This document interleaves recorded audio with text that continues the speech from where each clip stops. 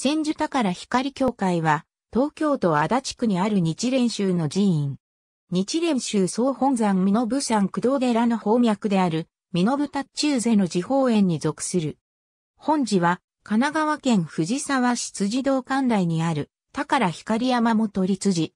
日蓮宗には、三光天使を祀る三光天使信仰が存在するが、本立寺は非天使のみを独尊勘定する方向天使信仰の本拠地として栄えた。千住宝光教会は、方向天使信仰の東京における拠点として、足立区梅島町の梅田に改装された。なお、方向天使とは、日蓮宗の根本経典である、妙法蓮華行における非天使の名称である。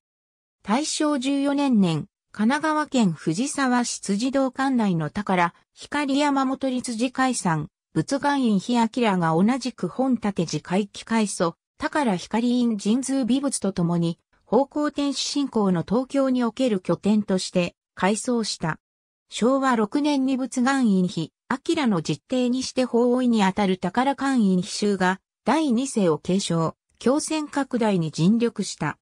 昭和21年6月10日に神奈川県相模原市南区にある源の悟山検証寺の第四世になるに及び、宝刀を、明神院美生に譲る。明神院美生は、日蓮宗広荒行700日を、達成主伝思想賞を受けた修行者で、精力的に不教伝道に取り組み数多の男神と強化した。また、本堂、客伝、栗を全改築し時間を一新するなど今日のもとを築き、中高と称されている。平成15年12月1日に宣言すると、安光院姫名が宝刀を継承。安光院姫名もまた、日蓮宗広荒行500日を達成主伝思想賞を受けた修行者で、明神院美生が拡大した強戦をさらに拡充したが、平成31年3月5日に宣言した。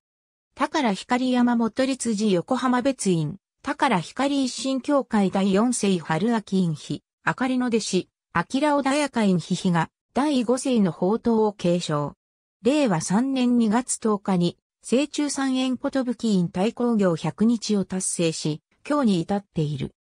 千住宝光教会では、方向天使信仰発祥の寺である、美信山太工房、寺院の本末関係上の本寺である、宝光山元立寺、住職の指定関係上の本寺である、源の悟山検証寺の参加寺を一層二本と称して本末関係を維持している。ありがとうございます。